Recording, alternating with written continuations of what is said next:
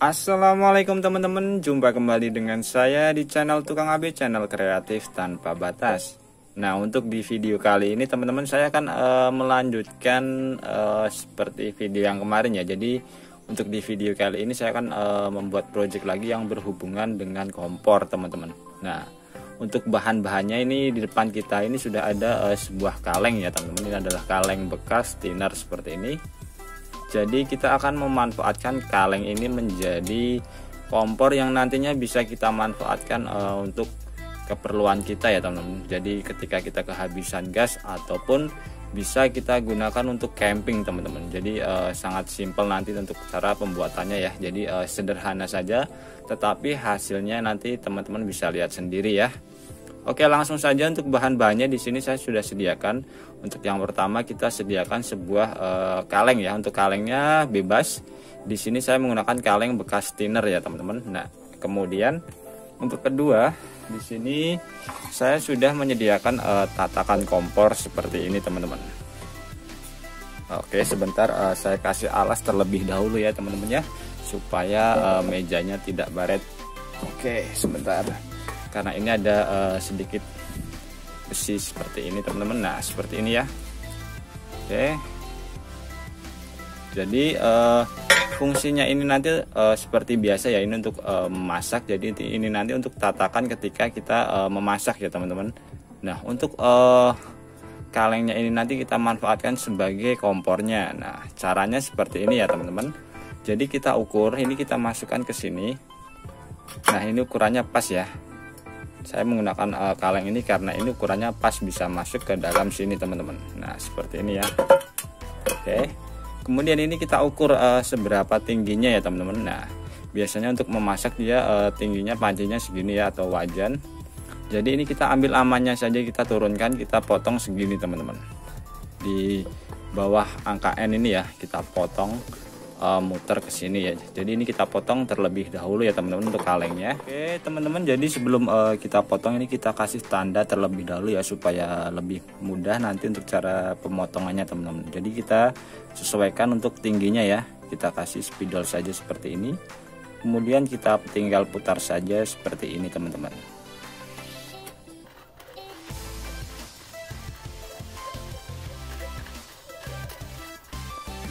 Oke sudah pas ya. Oke jadi ini kita potong di pas di bagian garisnya ya teman-teman. Nah seperti ini. Ini garis yang pertama tadi uh, nggak jadi jadi ini di bawahnya. Ini tinggal kita potong saja pas di bagian uh, garisnya ini ya teman-teman. Bisa menggunakan gunting ataupun juga bisa menggunakan uh, mesin gerinda ya teman-teman.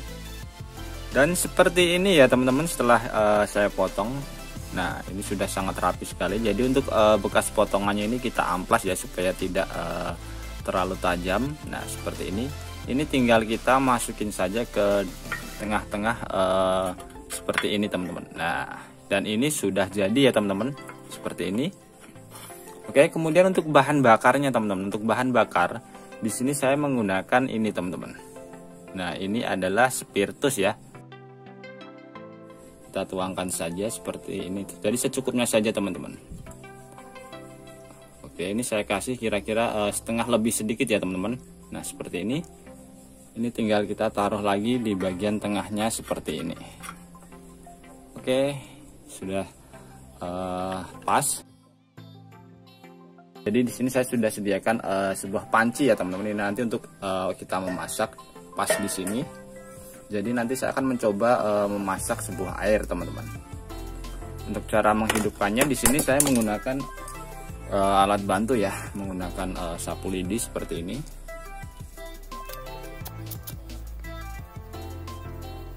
Oke tinggal kita uh, hidupkan seperti ini teman-teman. Nah.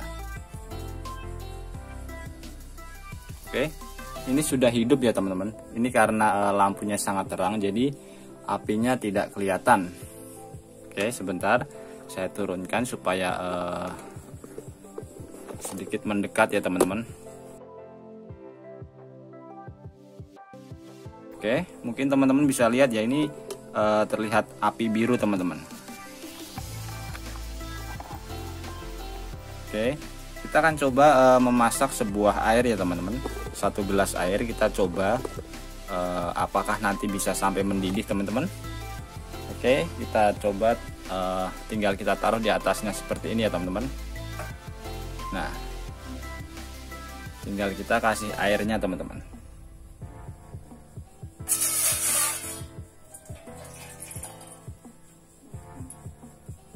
Oke.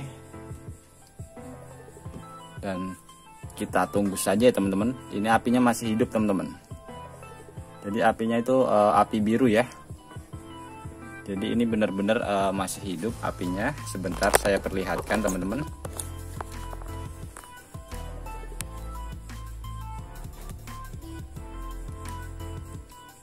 Jadi ini apinya itu uh, api biru ya. Mungkin nggak terlalu kelihatan di kamera tetapi uh, ketika kita melihat secara langsung itu akan sangat kelihatan teman-teman.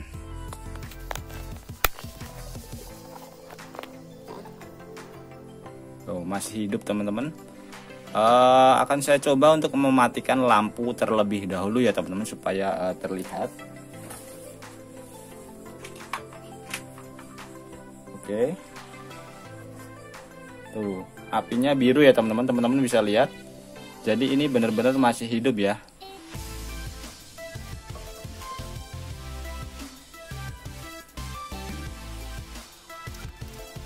Oke, teman-teman kita tunggu sampai uh, airnya mendidih ya, teman-teman. Oke, teman-teman dan ini uh, sudah mulai mau mendidih ya, teman-teman. Teman-teman bisa lihat. Jadi ini benar-benar uh, sangat panas sekali ya, teman-teman. Uh, apinya untuk apinya pun masih hidup berwarna biru, teman-teman. Teman-teman bisa lihat. Nah, seperti ini, teman-teman.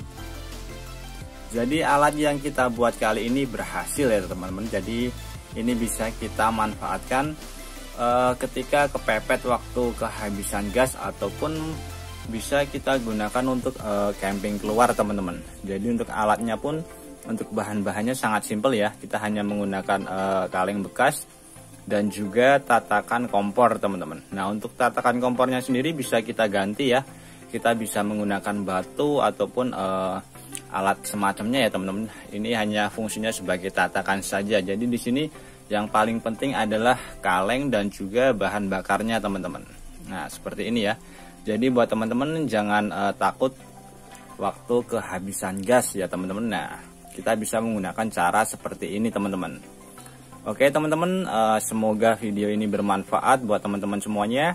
Terima kasih buat teman-teman yang sudah menonton video ini.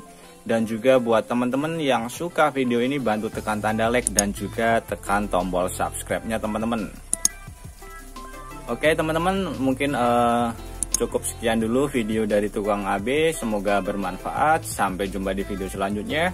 Wassalamualaikum warahmatullahi wabarakatuh